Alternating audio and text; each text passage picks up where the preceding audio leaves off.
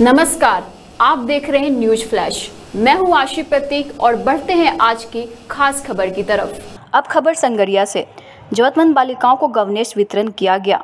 महात्मा गांधी राजकीय विद्यालय नुकेरा में गुरुवार को विद्यार्थी कल्याण संस्था संगरिया द्वारा 30 जरूरतमंद बालिकाओं को निशुल्क गणवेश उपलब्ध करवाई गई। इस अवसर पर संस्था के प्रतिनिधि विशाल सुद ने कहा कि विद्यार्थी कल्याण संस्था बालिका शिक्षा को बढ़ावा देने के लिए यहाँ ज़रूरत व संबल प्रदान करने के प्रयास करती है। अध्यक्ष राहुल बंसल ने भविष्य में भी स्कूल को संस्था द्वारा सहयोग का आश्वासन दिया गया।